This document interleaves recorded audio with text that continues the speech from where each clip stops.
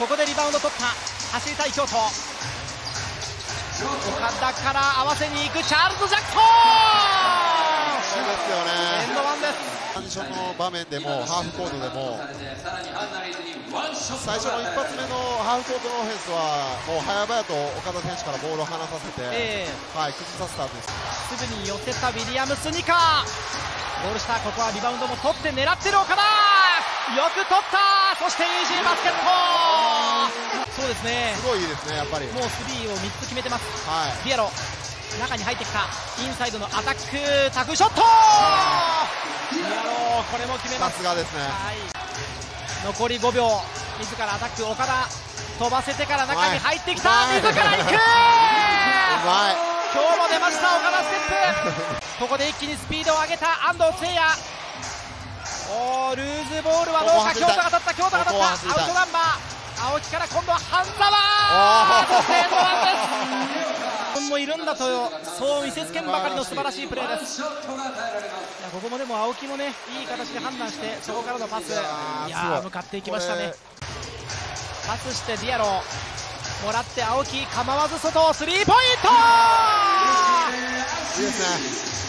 走るディアロ走るディアロ。そこを見る岡田。ただニック・ケイがしっかりとつきます。青木隆二確認して構わずスリーポイント!これを決めます。すぐさま切り替えてもうあれを走る半沢決められると仕方ないですねさあ青木だ外だスリーポイント3本目!第2クォーター来ましたリュウジタイム!自信持ってますね。はい。いやーまたまた面白い点岡田、はい。自らのアタックちょっとボールが手からこぼれたが半沢回収ちょっとタフなショットよく取ったよく取った。そしてケビン・ジョーンズ。今起き上がりますスキップパス青木隆二キャッチアンドショット。スイッシュ決めてきました青木。今日4本目です。小西ダブルチームパス。水野カンタースリーポイントシュート2つ目今日2つ目取りました水野カンタハンドについてもタフにつくハッサン・マーティン中外だ晴山ケビンキャッチアンドショット。リバウンド水野が取る。ダブルで挟む。おーそこをうまくすり抜けてシェック・ディアロからチャールズ・ジャクソよく見てました。シェック・ディアロ中に入って自らダンク。